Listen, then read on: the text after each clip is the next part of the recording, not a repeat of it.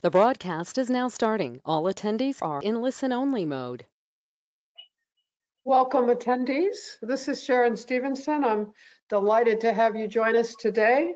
This is an Empower ME program. Um, and in 2019, Solve ME launched their Empower ME education program in Washington. Driven by patient input, they strive to ensure that no family ever has to learn the hard way on their own. And that's really one of the main things we'll talk about today is sharing the knowledge of this uh, group of experts and helping you skip over some of the usual hurdles or be able to handle them uh, more efficiently. So this morning we're navigating public disability insurance with MECSF. We're also talking about uh, some of the issues around applying for disability insurance so we want to empower you and your caregivers to make well-informed decisions about applying for disability insurance. Um, our panelists this morning include Dr. Lucinda Bateman, who graduated from Johns Hopkins and did her internal medicine residency at the University of Utah. She was a general internist in Salt Lake City for 10 years and during that time, she recognized the need for advances in diagnosis and treatment of multi-symptom chronic illnesses such as chronic fatigue syndrome, excuse me, and fibromyalgia. She left general practice and formed a uh, fatigue consultation clinic in 2000 to learn more about these illnesses. And in 2015, she left private practice and formed the Bateman Horne Center, a 501c3 nonprofit organization with a mission to improve the lives of people with uh, fibromyalgia and ME/CSF through clinical care, education, and research. And I will just mention now, because it will come up again later, that the Horne Bateman Institute, um, Bateman Horne, excuse me, Center Institute is a, is a um, sponsor of the program today, for which we are incredibly grateful. Uh, the, organ, the way this is organized today is Dr. Bateman will go first and talk about sort of issues from diagnosis to applying for disability. And then Dr. Snell, who I will introduce now, will be talking about what to do, how to approach things when your uh, application has been denied. And Dr. Snell is PhD. He has over 25 years of experience in studying ME/CSF, particularly post-exertional fatigue and malaise that typifies the illness. He's part of a group that was among the first to advocate for the use of cardiopulmonary exercise testing to measure fatigue and therefore give objective criteria. Their two-day exercise protocol has the potential to be a biomarker for both pathology and function in ME/CSF. He's a former chair of the Chronic Fatigue Syndrome Advisory Committee. He's published extensively and has done invited invitation, invited invitations, invited presentations for the National Institute of health. The third section of our program is legal barriers and challenges, and we're fortunate enough to have a really wonderful lawyer to talk about that, and that is Moselle Leland. Uh, she's an attorney with the law offices of Judith S. Leland, graduated magna cum laude from uh, UCLA, also my alma mater, I would add, with a bachelor's degree in psychology. She's completed her legal studies at Southwestern University School of Law in Los Angeles. She's passion for fighting for the disabled, which started at an early age from watching her mother help individuals obtain Social Security. She's admitted to the bar in California and has been in private practice since 2009, emphasizing Social Security disability law. So as I mentioned earlier, the kind of organization of the program, there's essentially in thirds. At the end, starting about two o'clock, will be questions and answers. And we have received in, uh, quite a lot of questions during the registration process and we'll be focusing on those, but you can feel free to uh, offer questions and uh, comments. There's a control panel uh, tool through GoToMeeting that you should be seeing on your screens uh, that will allow you to, to ask questions. I'm trying to think, ah, and afterwards, afterwards there will be office hours it, to, for uh, the opportunity to ask additional questions and presumably receive answers, uh, which uh, we'll put that information on how to access that to you in uh, the chat panel on your screen. So all of that said, I believe we are ready to start with Dr. Bateman. And just so you don't get vertigo, um, the rest of us will disappear when someone's talking, and then we'll reappear when it's when it's our turn to talk. So Dr. Bateman, it is all yours. Thank you, Sharon. It's really great to be here, and I hope that um, the the things that uh, we can tell you here will be helpful and make make things better for you. Um, so I'm I'm uh, going to present sort of the beginning of uh, this process. You're sick, you're unable to function, financially struggling, frightened, and misunderstood.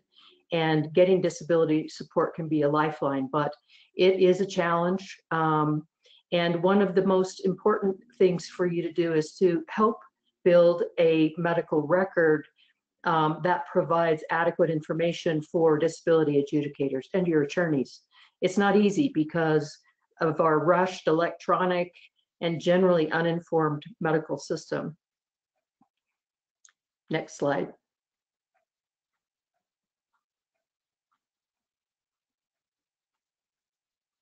So this is the challenge. This is probably one of the biggest challenging things right now is to find a doctor who can um, be on your team and advocate for you.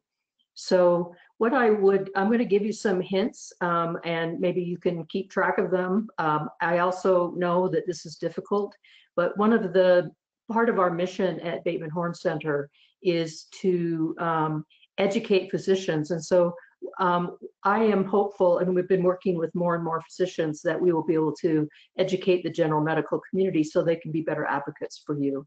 Um, in the meantime, um, you should be sure from uh, early on in your illness that you have at least one physician, uh, usually a primary care provider, who follows your illness and is aware of everything, sort of the captain of the ship and the coordinator.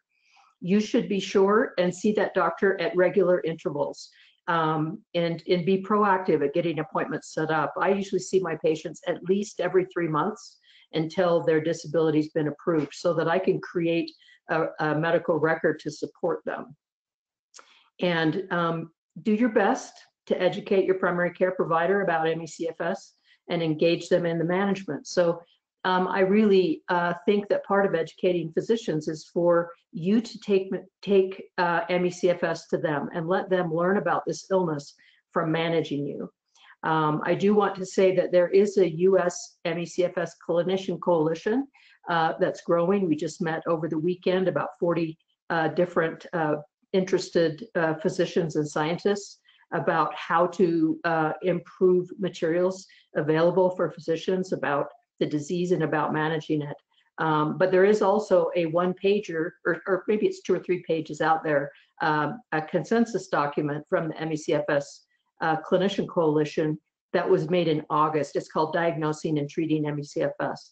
And at the very minimum, you should print this off and take it to your medical providers to help educate them about the illness so they can uh, partner with you in, in making a good medical record.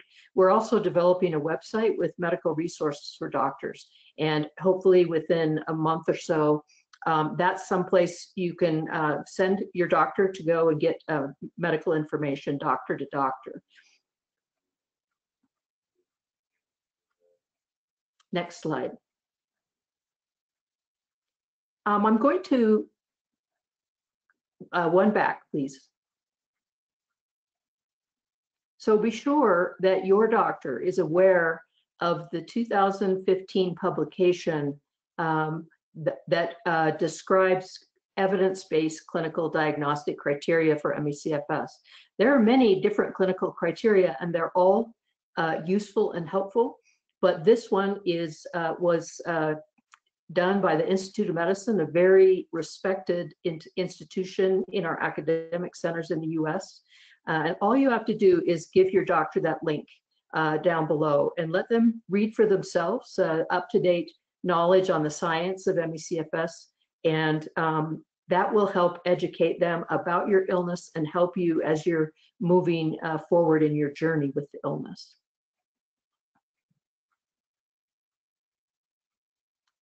It's important that you learn how to communicate clearly about your illness. And this is this is not easy. It's very difficult to describe how you feel with ME/CFS. It's difficult to describe what makes it hard for you to um, to do more and to use your cognition.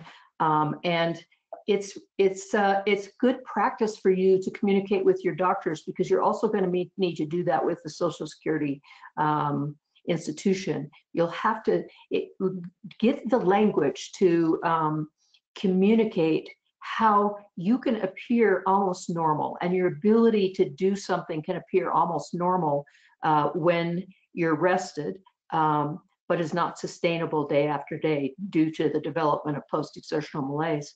Um, you've really got to help your doctor know that if you make it to a doctor's appointment, that's your good day.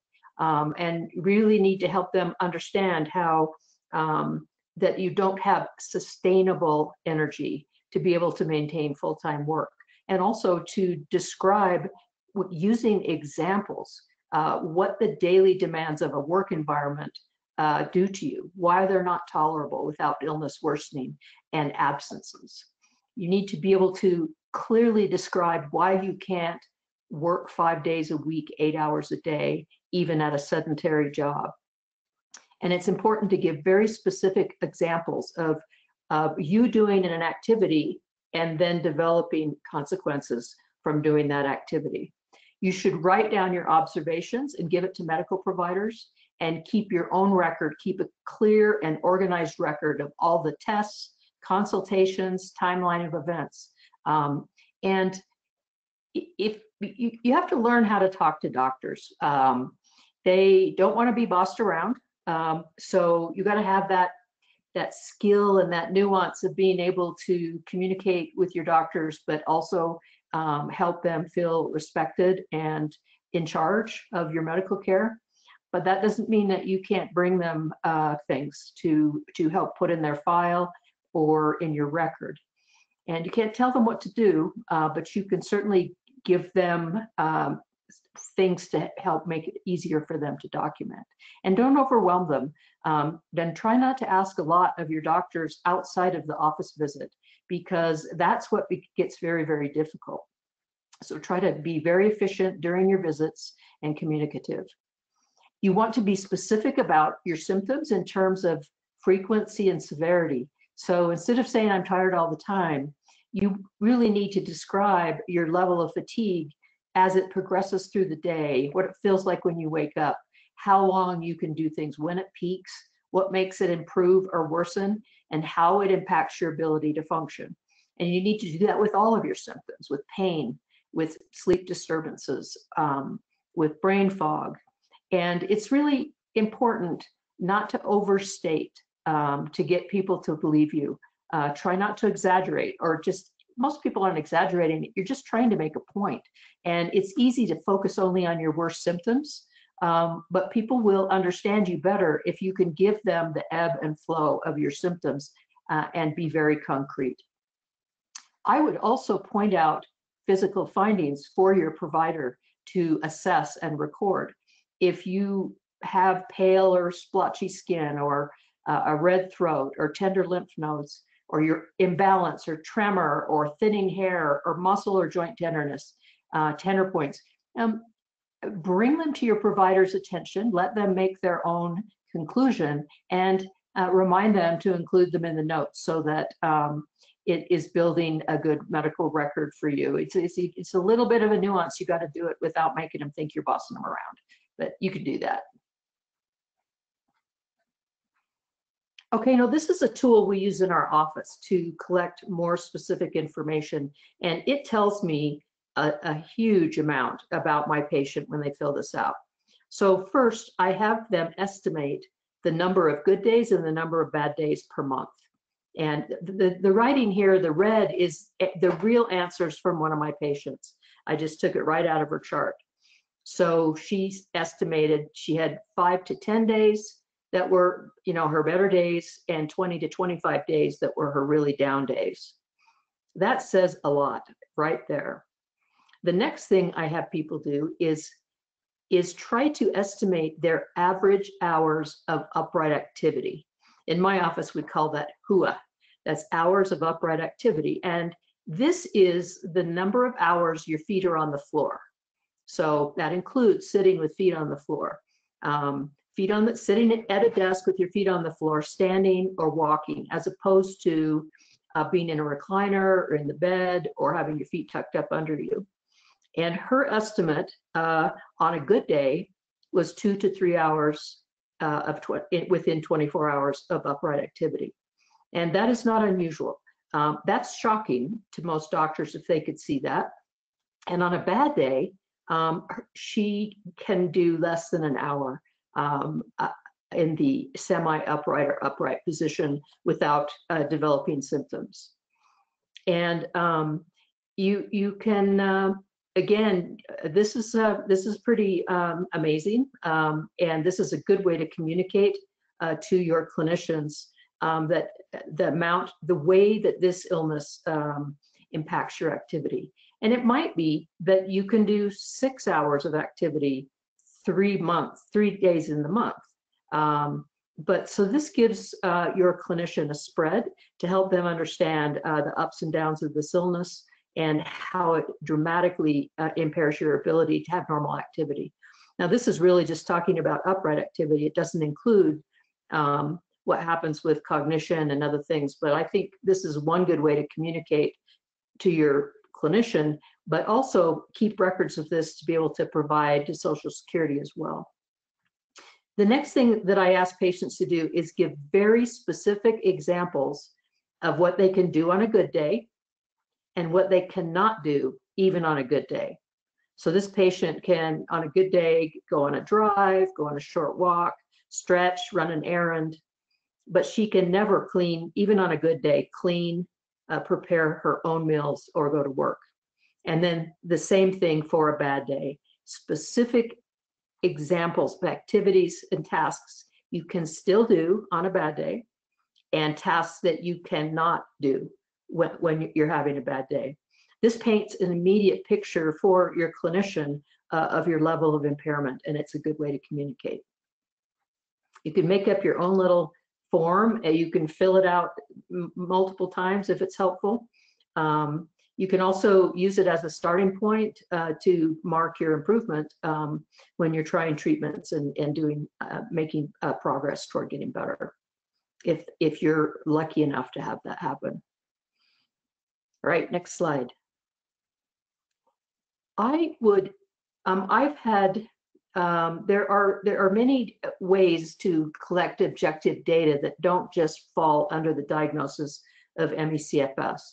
So if you have what we consider comorbid conditions or conditions that are probably part of your ME/CFS or close related or have grown out of it, uh, or uh, like uh, POTS or mast cell active mast cell activation, or if you have a proven small fiber neuropathy, if you have tests that support an autoimmune condition, if you've had tests to show you have a primary sleep disorder, these are um, comorbid conditions that first of all you can you can use to have a, a, discussion with your primary care provider and ask them if you've had a workup for these comorbid conditions.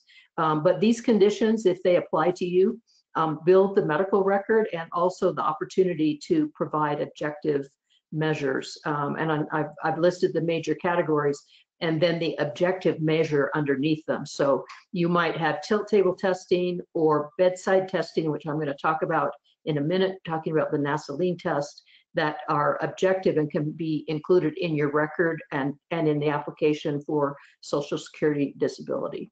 So for mast cell, there are blood tests and biopsy specimens that can sometimes support your case. Um, a skin biopsy can uh, help support the diagnosis of small fiber neuropathy um, and, and so on.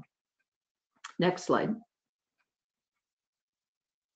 It is, in, it is imperative that you get objective measures into the medical record. Um, these are some examples of useful objective records. Right up at the top is two-day CPET testing, which Dr. Snell is going to talk about.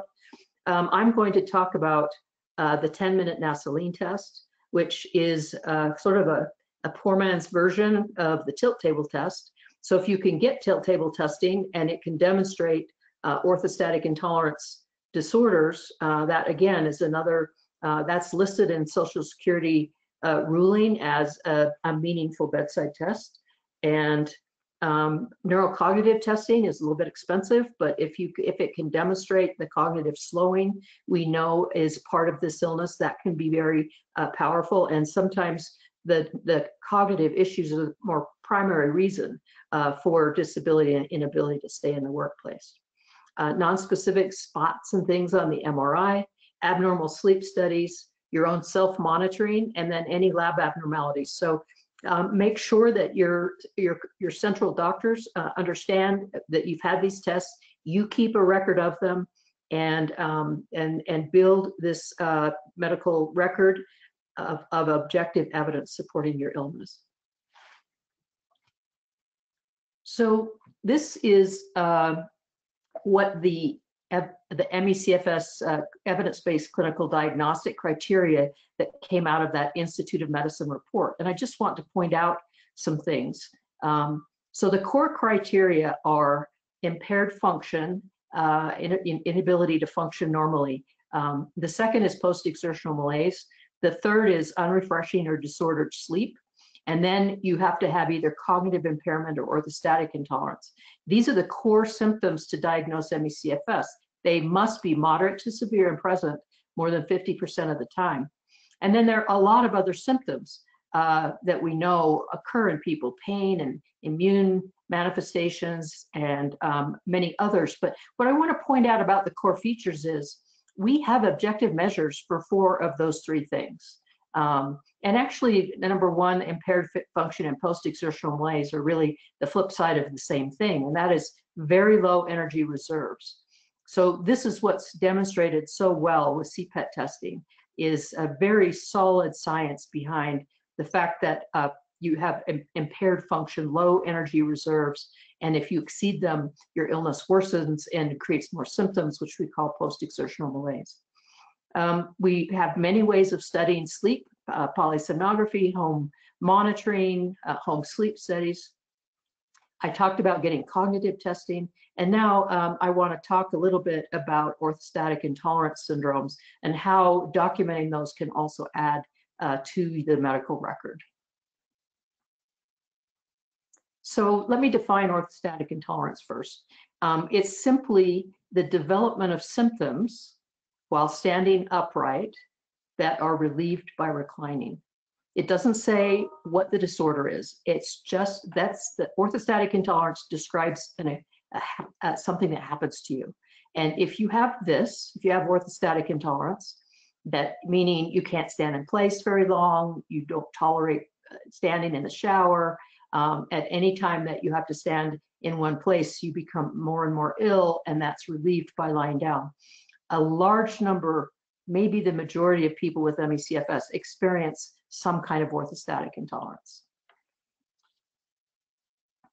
So the way we measure orthostatic intolerance, the gold standard has always been thought as the tilt table test, but honestly, it's hard to get one.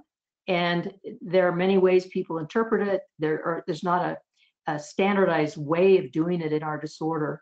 So if you can get a, a, tilt table test that's abnormal, that's a very strong piece of objective evidence, but may not be available uh, widely.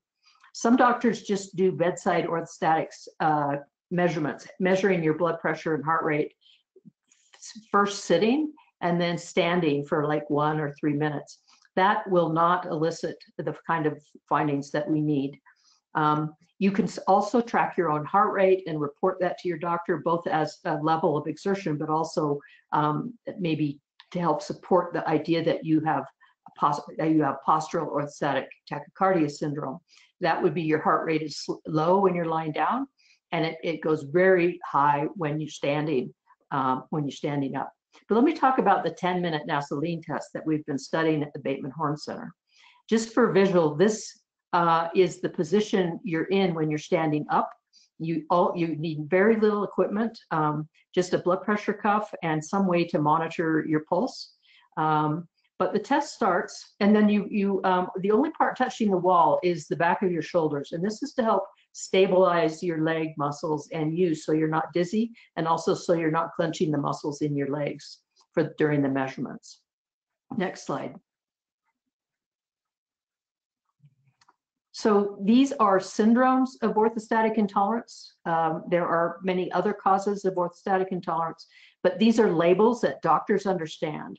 Um, they know what orthostatic hypotension is. They know what postural orthostatic tachycardia syndrome is. There are published definitions. So you, if, and also neurally mediated hypotension, which is a fainting, a delayed faint during these tests. Um, and these are these are diagnoses that can help support your um, your application. That it is written. It, we know that that orthostatic intolerance syndromes are part of the core uh, diagnostic criteria. So, um, and there are actually studies, maybe not widely available to doctors yet, that show that in ME/CFS, orthostatic intolerance can be present and diminish blood flow to the brain, even if you don't get a rapid heart rate response or drop your blood pressure. So hopefully with time, uh, these studies will become more evident. Next slide. So I'm just gonna quickly show you an example of a 10 minute lean test in one of my patients. So the test is carried out by lying down quietly on the bed until your whole uh, autonomic system equilibrates and you're resting. So I usually have people be in a dark room, do some do some relaxation breathing, and after about 10 or 15 minutes, take a blood pressure and a heart rate. And you can see this woman's blood pressure uh, in yellow was 112 over 78, and her pulse or her heart rate was 75 beats per minute. After obtaining these supine measurements or lying down we had the patient stand up against the wall like you saw in the picture on the last slide. And if you just look down the numbers at what happened to her blood pressure, first it went up because there was a, a, a, a shot of adrenaline and her adrenergic system trying to keep her from fainting. Um, but then you see a very disturbing trend in the blood pressure. It goes up and then it can't be sustained. And in the 10th minute, if we hadn't stopped the test, she would have fainted. And if you look in parallel to her pulse, it started out resting at 75. And by the time, and it went higher and higher and higher, trying to keep her from fainting. This is a response to your stress response and the, the sympathetic nervous system. Um, so she met criteria for what we call neurally mediated hypotension, even within 10 minutes. Usually takes uh, up a 30 minute test to show this. Next slide. Um, this is another patient. Um, this was on her treatments um, for POTS. You can see lying down, relaxed, rested, her the yellow 130 over 86 blood pressure and a nice low heart rate of 52. And by the fifth minute um, of standing, we had to stop the test because she was going to pass out. And you can see she uh, her heart rate uh, more than doubled uh, to 109 and unfortunately, she didn't couldn't sustain her blood pressure either. So she met criteria for orthostatic hypotension and POTS. Next slide. I want to tell you something hopeful, and that is there is a special themed issue on ME/CFS of a journal called Work, a journal of prevention, assessment, and rehabilitation. And I want to give you a little heads up. There will be a very excellent paper uh, in that publication when it comes out called Documenting Disability in Myalgic Encephalomyelitis Chronic Fatigue Syndrome. This is going to be a very comprehensive instruction on all the things you need to do to prepare uh, and be successful in your disability application. Next slide. I've also put some uh, additional resources here. Uh, the first one is um, a paper already available by the same authors about medically documenting disability in ME/CFS uh, directed at pediatric cases, so young people and uh, adolescents and, and young people. And that's also a very good document that you can access at that, um, at that link. There is a whole section in the IOM report. It's that I showed you the reference to to give your physicians, and that it's called Appendix C, and it's information on disability and ME/CFS. Um, mostly helpful probably for a direction for your medical provider, but anyone, of course, can access it. The Centers for Disease website has a section on disability and ME/CFS. And there's also, um, but there's actually information that I'm sure we'll hear about later about uh, through the Social Security Administration about uh, how to um, how to go about things when you have uh, uh, ME/CFS. So how do you provide that medical evidence? How do you gather that objective data? And then the last slide was just that um, we'll try to make available to you links to um, that instructions for doing the 10 minute NASA Lean test and also that US Clinician Coalition document uh, diagnosing and treating ME/CFS. Thank you very much. And um, this is a very difficult process. So you just have to be patient uh, and work through it. Thank you very much, Dr. Bateman. That was terrific. And for those, a couple of you have joined since the last, this is Sharon. I'm, I'm disembodied at this moment. I can pop on my webcam also. Um, uh, wanted to mention there'll be questions at the end because I know some of you have joined since uh, we first came on. And we have a whole lot of questions that were uh, provided by people when they registered.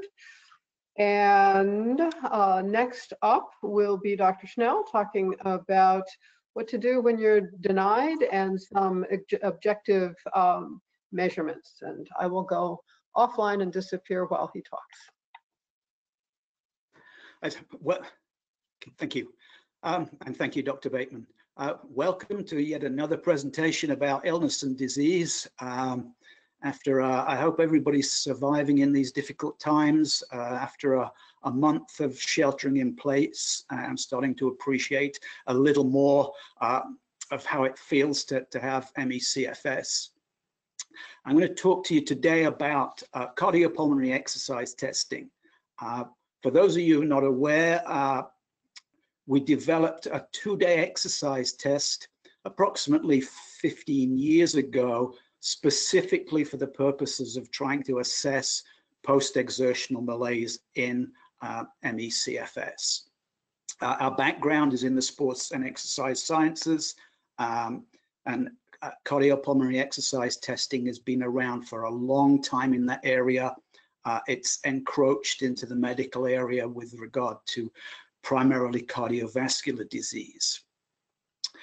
Um, it's a fairly routine test. It, it's not easy to accomplish. Uh, it, it, it is it is quite technical, but but it's been around for a long, long time. So the the tenets of CPET testing are, are well established.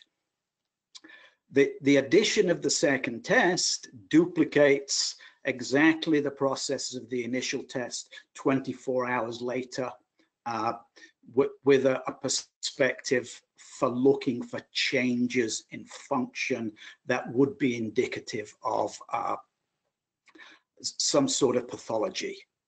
So we, we gather a number of objective measures and they're primarily centered on uh, oxygen use in the body. Oxygen is the key factor in producing energy. And we look at primarily three key measures. So we measure peak oxygen consumption, which is a measure of your ultimate capacity to do things, to do work, to exercise. Uh, we look at oxygen consumption at the ventilatory anaerobic threshold. Uh, that's a well-established sub-maximal measure, and it's the point at which uh, any activity is going to be limited uh, once you exceed that anaerobic threshold, um, it looks like somebody that's ran out of gas. Uh, you, will see athletes doubled over, sucking in huge lungfuls of air, trying to replenish that oxygen. Once you exceed that area, you, you're not going to be working for too much longer. Another key measure that people may not be aware about is, is something called a respiratory exchange ratio. And that's essentially the ratio between the amount of carbon dioxide produced in metabolism and the amount of oxygen used. Not only does it tell us how metabolism is working in the energy substrates that are being utilized, it's also the most valid and reliable measure of effort. And that's why it's key for any test that, that is going to be uh, attempting to establish impairment or disability. Essentially, it cannot be cheated. It's uh, a process that you can't control. It's an involuntary process. So therefore, if we get a, a required numbers on the test, we can rule out malingering completely.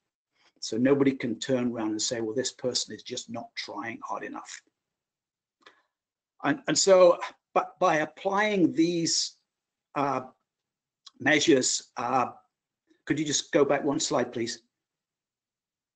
Thank you. By applying these measures, we, we can many measure fatigue regardless of source. So it really doesn't matter what, what the, the source of the fatigue is. And, and when I do the reports, I actually prefer to write them without knowing what a person's diagnosis is. I have uh, been accused in the past of being an advocate for uh, ME/CFS, and I don't deny that, but, but it, it does help me uh, it does help my credibility if I can uh, interpret the test independent of diagnosis. Next slide, please. Thank you.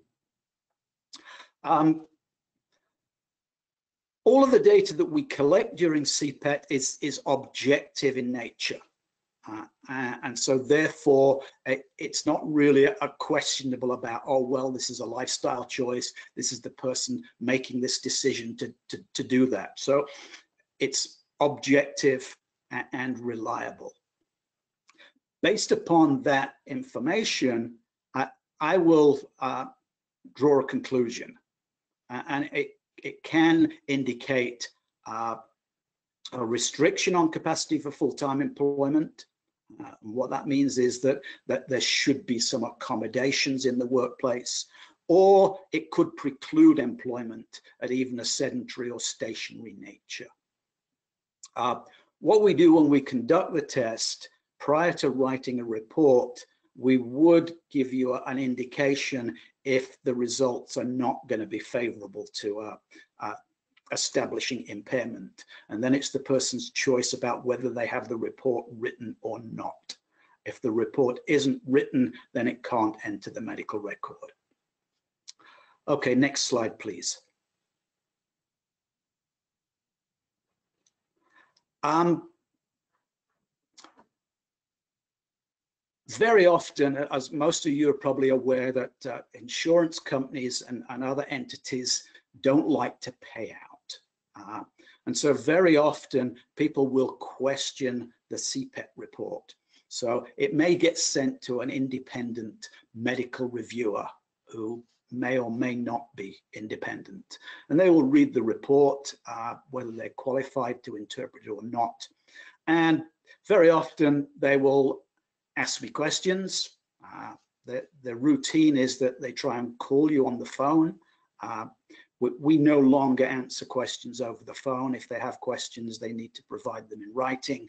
Uh, if they provide them in, in writing, then whatever answers we provide will go into the record and they cannot be edited in the, the person's report.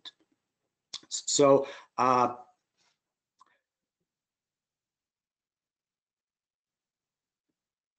many of the arguments that, that people put up are that uh, these results are explained by obesity. Uh, they may be inconsistent with uh, EKG. Uh, the patient was malingering. Uh, physician was not on site to supervise the results.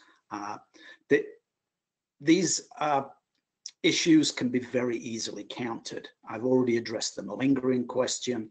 Uh, we do run EKG during the test, uh, so we will have uh, an EKG that can be interpreted by a cardiologist Uh, very often, our, uh, usually our patients don't have cardiovascular disease. Uh, it, it's not it's not routinely found in ME/CFS. Uh, on, on, occasion, we have had people that have had a, an abnormal EKG and, and, it turned out they did have cardiovascular disease, disease that was undiagnosed. Uh, so one point here just to be aware of that just because you have a diagnosis of ME/CFS, it doesn't mean that you are, uh, can't uh, get other conditions. And very often, any other symptoms are, if somebody's had a CFS diagnosis, any other symptoms that appear will be put down to that diagnosis, even if they're attributable to another condition. Uh, next slide, please. Um, a major focus of, the, of this uh, roundtable today is the Social Security Administration. And the Associate Social Security Administration has a number of uh, entries in their publications that, that are actually helpful uh, when it comes to, to looking at, at CPET. So that a key feature for the Social Security Administration is objective medical evidence. Uh, CPET can provide irrefutable objective medical evidence. Uh, next. Uh, it's actually a requirement for Social Security that, that a disabling impairment is documented with acceptable clinical and laboratory findings. So that they, they uh, say it's essential to submit all objective findings available. Uh, one interesting feature of the Social Security Administration publications is that uh, they don't have specific uh, objective criteria for diseases per se. So if a severely medically determinable impairment that does not meet a listing, uh, then they will match it up with another medical listing. So if it's somewhere in there that your impairment matches an impairment, even if it's not the disease that you're diagnosed with, that then that is a legitimate objective finding. Next slide, please. Uh, the SSA do have a publication on uh, ME/CFS, and it states an abnormal exercise stress test is among laboratory findings that establish the existence of a medically determinable impairment in people with CFS. So it's there in black and white. They will accept an abnormal exercise stress test as objective evidence of laboratory findings. Uh, interestingly, in the cardiovascular section, they do refer specifically to CPET with gas exchange. So they do accept exercise tolerant tests, exercise tolerance tests as a, a measure of impairment in cardiovascular disease. And they do have a specific statement that uh, those an exercise tolerance test with measured gas exchange is a more accurate measurement of aerobic capacity than without. So that's a specific reference to CPET with gas exchange or the protocols that, that we employ. Uh, next slide, please. Um, very often we, we have to deal with um, insurance companies or the Social Security Administration uh, beyond the CPET test. The CPET test itself uh, is limited purely to objective evidence. It does not contain anything about a diagnosis. It will not have any other information in from your medical record. As I indicate, indicated previously, I prefer to write those without knowing what the diagnosis is. But I may be required, or we may be required to respond to a, a negative review of the CPET test. Uh, that that opens uh, up uh, the possibility for, for me to, to editorialize a little bit and to, to provide further information. So, so this can be very useful. So very often they will question the accuracy of the patient's self-reported symptoms. One of the things that we include in our CPET test is a post-exercise questionnaire. So we, we ask you what happened to you in the seven days following the exercise test. Invariably in people that uh, meet a diagnosis of ME/CFS, we will see the usual symptoms of post-exertional malaise. Uh, because this has been raised now by the uh, insurers, then we can start to delve into that a little further. So by questioning the veracity, morality, and accuracy of patients' self-reported symptoms, uh, that, that allows for us to take this a little bit further. Uh, very often there are aspects of the CPET test, objective measures that match up with symptoms from the person's medical record. What that is, that's an objective measure that uh, will support a self-reported symptom. The more of those instances that we can get, the, the better. Um, if somebody is going to have an objective indicator for seven of their PEM symptoms, then the likelihood that they're making the eighth one up is, is extremely unlikely. There, there are, there's a, quite a lot of backing for the use of uh, self-report symptoms. For many years, it was the mainstay of medicine, the, the, uh, the medical or the clinical interview. Uh, the IOM uh, in the ME/CFS report that, that's already been talked about, uh, they specifically say that it's paramount in diagnosing to take a careful patient history. Interestingly, the IOM have also produced a report on uh, diagnostic criteria across the medical field. And they pointed out some of the problems of physicians who don't acknowledge patient self-report symptoms. Uh, and very often that, that can lead to uh, diagnostic error and danger to the patient. Uh, the publication all includes instances where people have died because the physician did not listen to the patient when they were telling them about their symptoms. Uh, the other thing that it allows us to do, it, it allows us then to draw on our experience with ME/CFS and we have a long history of dealing with ME/CFS. We've tested a lot of patients that have a diagnosis of ME/CFS. So once again, we can bring that up in the uh, rebuttal letter and uh, start to substantiate post-exertional malaise. Uh, very often with the two-day test, we also get a performance decrement on the second day. Uh, we're not the only ones to have found this. Uh, the IOM drew attention to it in the report as an objective measure of delayed recovery in patients with ME/CFS. Since the uh, IOM report has been published, there have been more studies come out that substantiate these findings. So it's starting to become a well-established finding with ME/CFS and can be extremely helpful in uh, cases of impairment and disability. Uh, next slide, please.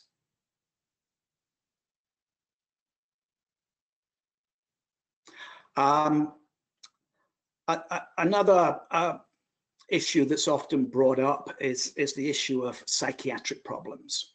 And well, this person's just depressed, and that explains all of their symptoms. Uh, depression does not explain CPET results. There's no evidence to suggest that it does. Uh, the IOM, once again, have been very, very helpful, uh, and, and they, they generally dismiss uh, psychiatric disorders as explaining ME/CFS symptoms. This was actually a major step forward. Uh, in the days of exclusionary diagnosis, psychiatric disorders could be used to exclude an ME/CFS diagnosis. Uh, the IOM have, have repudiated that.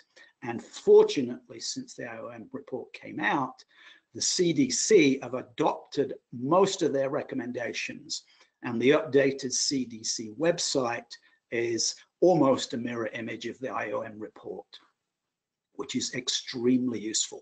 Uh, we can also cite uh, research where uh, depression and exercise and ME/CFS and exercise uh, do not produce the same results in terms of uh, CPET testing. Uh, next slide, please. Deconditioning, this, this is another favorite. Um, once again, uh, deconditioning is, is not a, a trivial symptom. Uh, it's common in many diseases and particularly diseases which limit a person's uh, level of activity. So it's helpful to point out that deconditioning is often associated with chronic illness uh, and it, it, it, needs to be examined in detail. Uh, what we do, if we, we will deal with that with the CPET results. One of the advantages of CPET results, it can be used for differential diagnosis. So although I've said that we don't diagnose, what we can illustrate is that the CPET, the objective CPET results do not match up with results that are seen purely with deconditioning. So once again, this is a very helpful counter to the, the deconditioning argument, even though there may be some element of deconditioning contributing to a pers person's uh, results. Uh, generally, many of the patients, or to be honest, most of the patients we see, uh, their level of function is, is at a level below what you would see with deconditioning. Uh, a vast majority of the United States population are actually deconditioned. Uh, when you compare uh, population data with the data that we get from CPET, uh, you, you will see uh, clear distinct dif differences. Next slide, please. Hey, Chris, it's Sharon.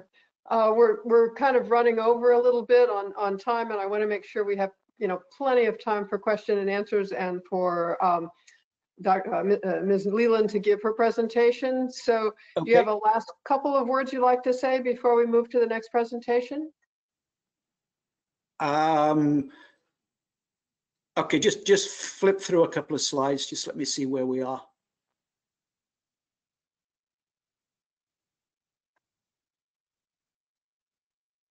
Okay, I was just going to finish up with with this one thing because it, it, it is a little bit of uh, light at the end of the tunnel. So uh, with a lot of time on our hands, we can't do testing at the moment. It, it's it's occasioned us to think about where does CPET fit in with uh, with the, the coronavirus.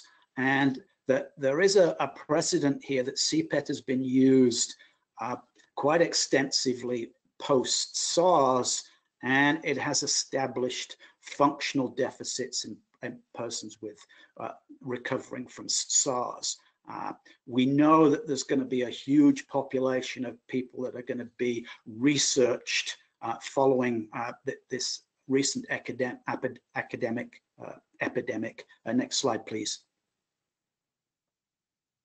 Okay, and our expectation is that uh, there's a strong likelihood that when we start to look at uh, the, the post-viral fatigue in those patients, it may shed some light on some of the post-viral fatigue mechanisms uh, attributable in uh, ME/CFS. Thank you very much. That's great. Thank you. Um, and you'll we'll hear from Dr. Snell again when during the question and answers. But at this moment, we're going to switch uh, gears slightly and talk about legal barriers and challenges uh, to applying and receiving uh, Social Security disability. Uh, Ms. Leland, it's all yours. Hi, thank you so much for the introduction. I will be discussing primarily Social Security disability programs, uh, but I will touch on long-term disability. But if you have any questions about long-term disability, uh, you can ask those during the office hours. So first, let me start out by saying there are two programs uh, that the federal government provides for individuals with disabilities. One is called Social Security Disability Insurance, which we often hear called as SSDI or Title II. The other program is Supplemental Security Income, which most people call SSI.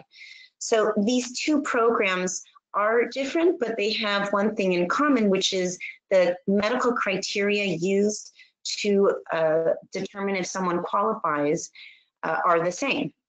The difference is, uh, and I'll start with SSDI. SSDI pays benefits if you are what they consider insured, meaning you have to have enough credits. So usually that is if you worked five of the past 10 years before your disability started, you will have enough credits to be insured under that program. Benefits for SSDI are not paid right away. There's a five month waiting period. Uh, they are paid six months after your disability has begun or one year prior to the date of your application, whichever is later. So for example, if you waited two, three years to apply after you stopped working, the most that they will go back to pay you is one year before your application date. With SSDI, you would get Medicare, but the Medicare doesn't start right away. It starts two years after Social Security finds that you became disabled. One thing about Social Security Disability or SSDI is that your dependents, your children, your spouse can qualify for benefits, and these are called auxiliary benefits. Uh, and if anyone has questions later, I'll go into more detail. But for example, children 18 years and under who are full-time students and unmarried uh, would get benefits under your uh, account. Um, another interesting thing is that if your earnings were not real high, you may be able to get benefits for being disabled under a spouse's account. When you apply for Social Security, uh, the Social Security uh, office will ask you these questions. So then what is the difference with SSI? SSI is a welfare-based program and it has resource and income limits. Currently, uh, the limits are that an individual cannot have more than $783 in income per month to qualify and no more than $2,000 in uh, bank account savings, investments, etc. So it's quite low. A couple can have no more than 1,175 in income per month to qualify and no more than $3,000 in resources. SSI does not have the same waiting period and benefits are paid the month after you apply if you are approved. SSI comes with Medi-Cal or Medicaid entitlement a month after your application if you're approved. And generally, SSI is only available to US citizens, whereas SSDI is available to legal residents. Also, SSI does not pay benefits for dependents. Next slide, please.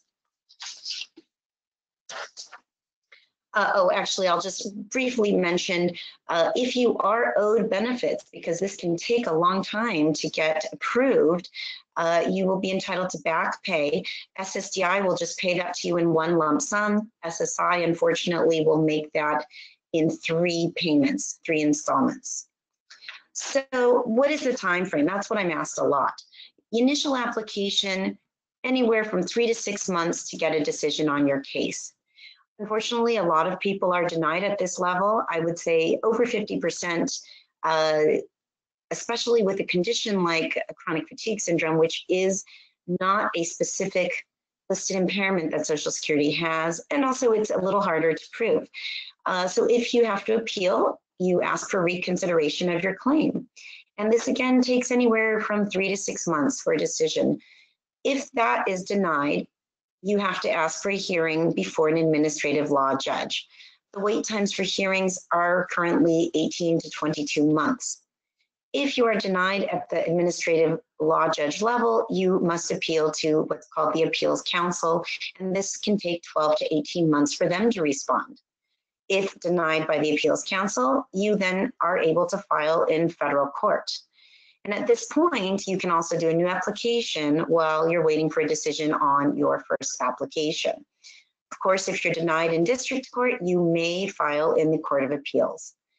Um, I would say that uh, most of our clients uh, with chronic fatigue syndrome are approved uh, at least by the judge level, the administrative level, uh, although some we do have to go to appeals council and federal court since it is a more difficult condition to prove and get approved.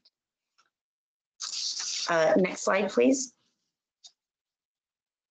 So the definition of disability it, for Social Security purposes is the inability to engage in substantial gainful activity due to physical or mental impairments that are expected to either result in death or last for at least 12 full months. So this is important. If you just stopped working a month ago, Social Security is going to look to see if your condition will be disabling, keep you from working for another 11 months or more in order to qualify. So as Dr. Snell outlined, you must show that your condition meets one of Social Security's listed impairments or that you're unable to do your past work and cannot adjust to other work. And they will look at factors such as your age, your education, and your medical condition.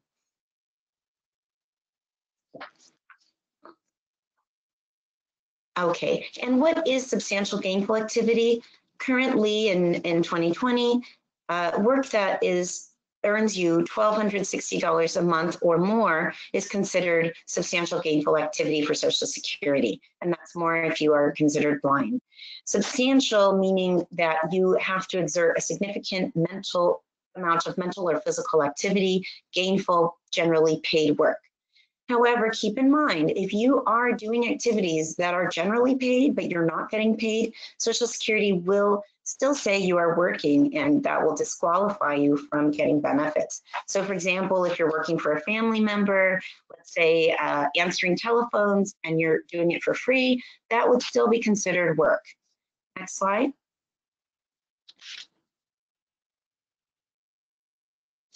Okay, so I'll briefly go over uh, Social Security's evaluation process. There is a five-step evaluation process. The first step is, are you working? And I apologize, there's a typographical error on my slide.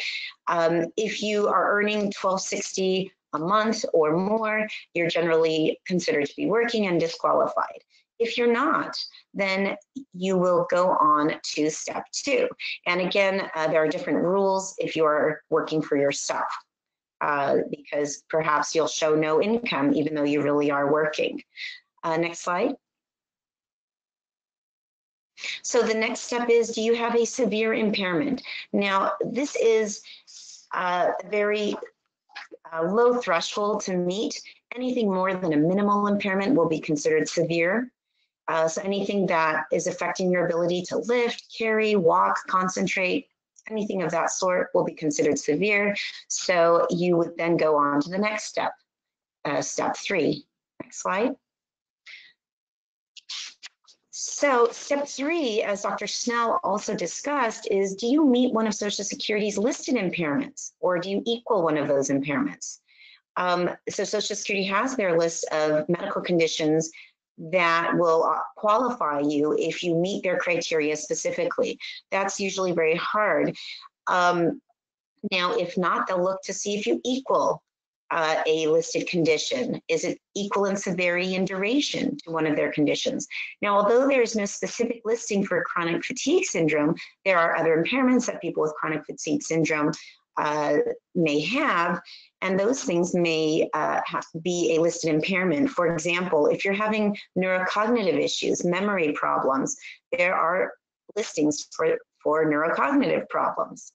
Um, so if you meet or equal one of those listings, you're found disabled, we stop there. If not, Social Security will determine what is your residual functional capacity? What are you still able to do uh, so the most you can do despite your medical limitations. So this is very important when you go to the doctor to talk about these things. You might not always think to talk about, you know, how your condition is affecting you. Make sure, as um, Dr. Snell and Dr. Bateman pointed out, very important to tell your doctor, uh, you know, keep a journal, for example, um, you know, how many good days and bad days you're having, uh, how much you can lift and carry, how often you're lying down, things like that. Um, you know, any anything that's going on, fatigue, uh, and so forth. Next slide. So uh, going on to step four is they're going to look to see if you can do your past work. Um, now, this is a little tricky. If you were working for an employer and your employer was giving you accommodations, you may be denied at this step. For example, if your employer was letting you take as many unscheduled breaks as you wanted during the day to lie down, if your employer was uh, uh, letting you work from home, things like that, if you could still do your work with those accommodations, you will be denied at this step. Um, but if not, the uh, Social Security Administration or the judge is going to look at what your functional capacity is compared to your past work. If you cannot do your past work, and that's work that was done in the last 15 years, then you go on to the next step. Next slide. So step five, if you can't do your other work, can you do other work in the national economy? And this is work that might not be local uh, because this is a national program. So they're going to look at the entire United States and see if there are some jobs that you can do given your age, your education, your past work experience, and what you're still able to do, your capacity. Next slide. One thing that people frequently ask me is, uh, what if I try to work and I'm not able to? Will that uh, disqualify me from getting benefits? Well, the answer is not necessarily. So if you try to work and that work stops before six full months uh, because of your impairment, then that work effort can be called an unsuccessful work attempt and it will not disqualify you from getting benefits. And if people have further questions about that, we can talk about that later. Next slide. So, um, and actually let's, let's skip this slide for right now. Next slide. Uh, again, as Dr. Snell mentioned, uh, Social Security does not have a particular listed impairment for uh, chronic fatigue syndrome, but there is a ruling that tells Social Security how they are supposed to evaluate chronic fatigue syndrome. And I won't go into this in great detail since uh, the doctors Bateman and Snell did go over this, but it is, so, it is so important for your doctors to document the signs, laboratory findings, as well as your subjective symptoms in the medical records. So make sure you get a copy of your records. Make sure that these things are there. Um, so under Social Security, uh, you cannot be found disabled based only on your reported symptoms. And that's different from what uh, in the medical community is needed to generally to find that you have the condition. But for Social Security, you must also have some objective findings documented in addition to reported symptoms. Next slide. So Social Security is going to look at how often you go to the doctor, what medications and treatments you've tried, your compliance with those, and your daily activities.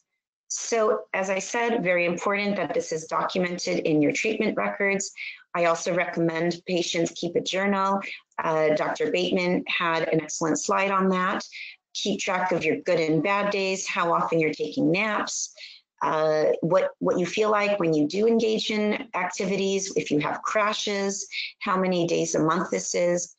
Uh, Social Security is also going to look at evidence from parents, siblings, spouses, so you can also submit statements from them. They'll have forms for them to complete. You can also submit a statement from a past employer, a rehabilitation counselor, and teachers. Um, it's also really useful to get what we call medical source statements or have your doctors either complete a questionnaire regarding your chronic fatigue syndrome and other, uh, other conditions, or to uh, give an opinion in a paragraph form about what your specific limitations are. Next slide. I'll quickly go through uh, private disability insurance. This is not my area of expertise, but short-term disability and long-term disability are private uh, programs that some people may have through work, for example, or if you purchased it yourself. Um, so it's not based on the taxes that you've paid to the federal government. Short-term disability usually pays for six months, but it can pay for up to two years. Long-term disability can pay up to your retirement age, which is usually 65, although for Social Security, it's actually 66 and a half. Uh, both LTD and STD pay more than Social Security often. Can pay up to 60% of your salary. But just keep in mind, if you get LTD and, S and Social Security, SSDI, you're not going to get both.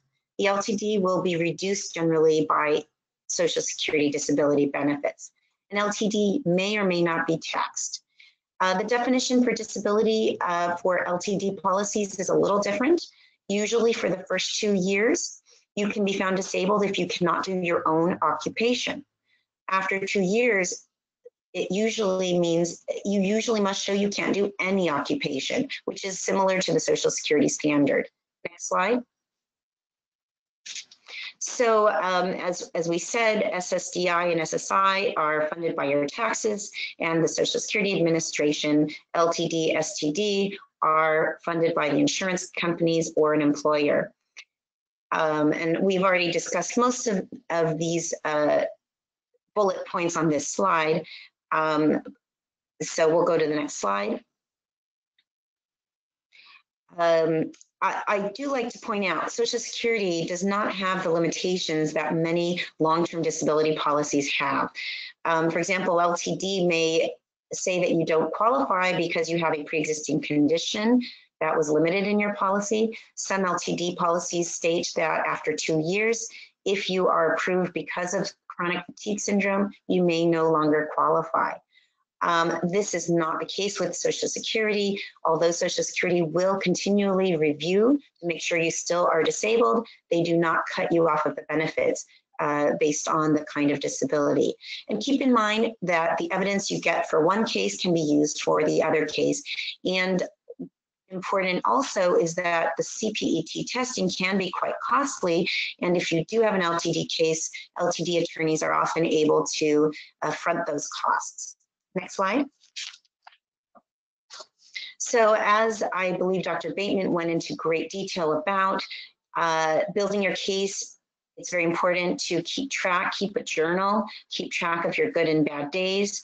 Uh, ask your doctor to complete a form or, um, you know, write a, a paragraph really outlining all the objective findings, clinical findings, the symptoms that you have, and your actual limitations. That's critical. You can also get statements from employers, coworkers, friends, families, etc. Next slide.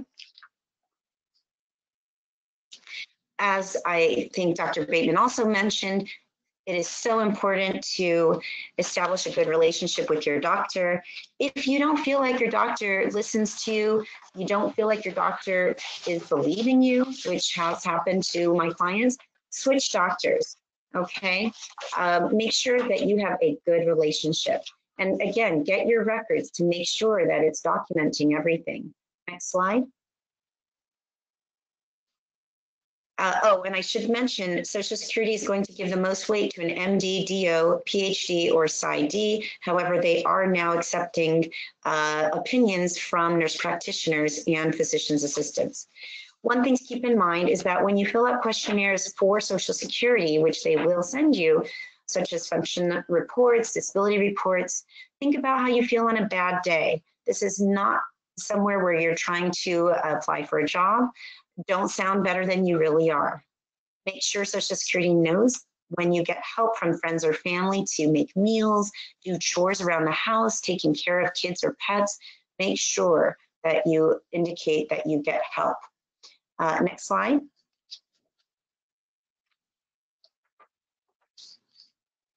Okay, I'm sorry, I thought there was one other slide, I apologize. Um, one last thing that I'll say is that um, I often tell people if you have a clear cut case, no need to hire an attorney at the get-go. Uh, you can apply online, by phone, or in person. Uh, of course, not now with the coronavirus, but usually in person. Uh, if it's SSI only, though, you would have to apply uh, by phone or in person. Um, chronic fatigue syndrome cases can be uh, much more difficult to get approved at the first level, so don't give up. Keep going, keep trying. And at that point, you would probably want to hire an attorney if you're denied initially. So thank you, and if you have questions, uh, we'll all be here to answer. Thank you. That was terrific. Uh, If everyone else of the panel could reappear, that would be great and reconnect so they can be heard. A couple things I just wanted to mention. Excuse me. Um, This particular seminar will be over at 2:30 East Coast time, 11:30 West Coast time, so in about 15 minutes. Uh, But there will be office hours or time for questions and answers um, that will start at uh, 1 o'clock West Coast time, 4 o'clock East Coast time, and that will be available at www.meadvocacyweek.com. So I'll, I'll repeat that again at the end. Um, So I think there's one of the questions that was, was presented, and I think it's, it's, you know, it kind of gets to the crux of the matter is, what are the common mistakes that you see in people applying for or dealing with trying to get uh, disability coverage? Excellent question. Um, I think for Social Security benefits, one of the biggest uh, mistakes I see is in filling out the forms that Social Security will send you. So even if you do hire an attorney, they will send forms directly to the person applying. Um, they'll send you a function report questionnaire asking what you can do. Um, you know, it's hard to admit that you're having these limitations. So a lot of people will uh, write more than they really can do on an ongoing basis. Uh, because Social Security needs to see how are you day in and day out, five days a week, eight hours a day. So yes, maybe you're able to go grocery shopping, uh, take a walk around, you know, with your pet. Uh, but if these are things that you don't do very often, you do maybe once a week, it's critical that you let them know. These are not things you can do every day all of these activities. Um, and I know that it can, some people are extremely embarrassed to have to discuss this, but keep in mind, this is confidential. This is just something you will send to Social Security. Do not puff yourself up. Also, when you're filling out a questionnaire, uh, the work history report, a lot of times people um, say that they are a supervisor, for example. It's really important not to make your job sound um, I guess I should say, more important than it was, uh, that you had more duties than you really had. Uh, you know, if you were supervising, but you were actually having to do all of the work that the other workers were doing, that needs to be uh, explained. Doctors Bateman or Snell, the common, um, common errors or common omissions that you may see in, in uh, working with people when they're applying? Um, that's really interesting. The most common thing I see is people panicking when they get their first denial. So think about applying to Social Security as dealing with the tax, uh, federal taxes. So I tell patients, just do exactly what they want when they want it, no more, no less, um, and and just follow the rules. Um, and I, in my experience, uh, I think I would tell people up front that they're going to be denied uh, on the first go round and the second go round. So just expect that you're going to march forward uh, to that uh, the hearing stage with the administrative law judge. Um, and if you know that, you can calm down. And the other thing is don't react to the, the verbiage um, in the paperwork that you get from Social Security because it sounds very personal, but it's just a canned uh, language that they send to people. So Mhm. um, they'll say, you know, we and your doctor agree that you you you can work and that you don't have any problems, kind of thing. So just stay calm and move forward on the pathway. And I would encourage everyone to read that SSR 14-1P. You can just put that in Google and and you can see print it out and see um, what kind of proof you're going to need to work on with your doctor. Dr. Snell, anything to add? I would just add one thing is very, very carefully vet your attorney. Uh, that, that- that you you True, really, that- that they need to know what they're doing. They need to be able to present the evidence. They need to understand the arguments uh, and they, they need to turn up. Absolutely. Another question, if a person has multiple health ailments like ME/CSF, fibromyalgia, and POTS, how do you decide which one to file for disability? And is there a way to file each condition instead of just one? Good question. For Social Security purposes, you are going to list every impairment that you have, even something that you don't think is disabling on its own, because Social Security is going to look at all of your medical conditions. Uh, and we really don't care for Social Security purposes why you are approved. Um, you know, if you don't want to be approved because, for example, you're suffering from depression, it doesn't matter why they approve you. So we want to get records from uh, medical providers for all of your conditions. Um, the other thing to keep in mind with LTD, it's a little different because, as I mentioned, LTD may have limitations uh, in the policies, and each policy is different. So LTD may decide that after two years, if you were approved because of this chronic fatigue syndrome, you're no longer eligible for that insurance benefit. So for LTD, it may be worthwhile if you have other conditions to throw those in as well. You would always throw in all of your conditions actually, uh, so that perhaps you won't have to be limited by that two-year limitation. Either the doc, the- of the other doctors have anything to say on that particular topic? No? There's a No. kind of a se- series of questions that Okay. all are sort of similar. One is, I have been told by a lawyer I need a doctor on my side to navigate this process. I'm having trouble finding a doctor in my insurance that even thinks this is real. What can you do when you can't find a specialist who will take those with ME on as a patient and also can't find an ME specialist in the entire US that will take us Medicaid out of network referral from my PCP? Where do I start considering there are no specialists in my area and none in the surrounding areas that accept my insurance? So they're all kind of an access question. How do mm-hmm. I access a knowledgeable person? Dr. Bateman, what do you, what, what advice do you uh-huh. have for them? Um, I agree with Moselle. I, if you can't, if you, your doctor won't support you, you need to get a different doctor. And, um, I, I encourage people to, you know, get a doctor that will help you, even if they don't feel like an MECFS expert. Um, make their job as easy as they can, as, as you can, but if you have a good relationship with your doctor, they will learn about MECFS and by Exactly. caring for you. So that's why it's very important to uh, establish with someone who will take the time to listen to you and take care of you. Total, total agreement, Dr. Snell, anything to add there? Uh, it, it is a huge problem for people is, is actually finding a, a physician that will even see them. Um, you, you you do at least, as, as Dr. Bateman has said, you need somebody that's open to learning about the illness. And, uh, and, uh, and a good physician should be open to learning about the illness. Total agreed. Um, Interesting, what is the success rate of applications for SSDI based on an E MECSF diagnosis? Is it, that, are those data available? You know, I'll have to look at that. And so perhaps for the office hours, I can have that. I don't, I don't have anything off the top. Um, you know, I, I think Dr. Bateman uh, hit the nail on the head. Uh, generally, these cases are denied at the initial and reconsideration levels and have to go to the administrative law judge.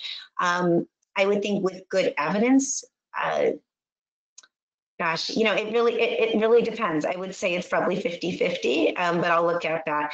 It really depends on how severe. I mean, uh, with any condition, uh, just having the diagnosis is not enough. You have to have a, a proof that it's severe enough that it's limiting your ability to work. Um, so it, it's really on a case by case basis. Vale? It- It's a very inter, it's this sort of classic conundrum. Um, the question is, I keep hearing about the importance of documenting symptoms, but with so many daily symptoms, the documentation itself is physically and mentally exhausting and can trigger PEM. Suggestions, just real practical suggestions.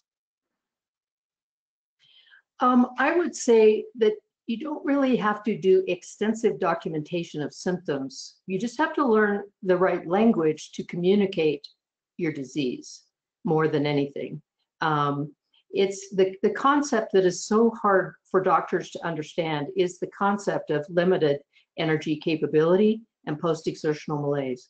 they just, it's just something that they don't quite understand. And sometimes um, using, uh, saying it's like a mitochondrial disease or, you know, be able to describe it, but mostly is uh, finding the language to communicate uh, the impairment of function. And it's, it's challenging, it's challenging. one of the things that, that we recommend to patients generally is learning to manage your, your energy. A- And so whenever you do something out of the ordinary, there's going to be a trade-off. So there's going to be something else that you can't do. Uh, and so that it's just a general piece of advice that, you, you know, l- learn your, your energy limitations. And if you have to do something, find something else to trade off against that to try and limit the possibility of, of post-exertional malaise. And try to find, Oh, And, and the, the other thing is that if you have a spouse or a partner, a- a- ask them to help. That's what I was going to say. If there's anyone in the house besides the dog who can help out, that's always good. Um, Another one, some of us have, have multiple disabilities, but have been told we are out of, um, we are out of work too long and no longer have enough work hour credits to even apply, no matter how ill. Is there any, what, what can I do? Okay, so that's a good question. So um, if you truly are out of work credits, then you won't qualify for SSDI, but you may qualify for SSI. Again, though, there are those resource and income limits. Uh, and if you're married and your spouse is working, then you may be disqualified. But for SSDI, just remember, you don't, it's okay if you've been out of work uh, even 10 years before applying, as long as you have the evidence. Uh, I've had cases where we went back 20 years and we had the evidence. Somehow the, the medical records were there, they weren't destroyed. We were able to prove that the disability started within five years after the person stopped working. So that's what's critical. So, it- it- you know, if you if you're thinking you're not going to apply because you you just don't want to, make sure you keep your medical records uh, so that if you do decide to apply in the future. Okay. Um, any sort of last one minute apiece comments, and then I'll make two minute comments? Dr. Snell, we'll start with, oh, sorry. No, no wrap up? Um, d- don't give up. You, you know, it, it's it, it can be done. I, it's we, we know how much work it is. I, I think all of us will will help as much as we can, uh, and, and we do appreciate what what people go through to to get these things. So that Perfect. Dr. Bateman? just take care of yourself in this process. Um, sometimes I see my patients unravel when they're, and just get so much sicker uh, when they're caught up in, you know, this long and arduous process. So take care of yourself and uh, try to take it a little at a time. Perfect. Ms. Leland? I, I think Doctors Bateman and Snell, you know, covered it perfectly. Don't give up. It can be stressful, uh, but, you know, don't take it personally and try to put it to the back of your mind. I always tell clients, your health is what you need to focus on.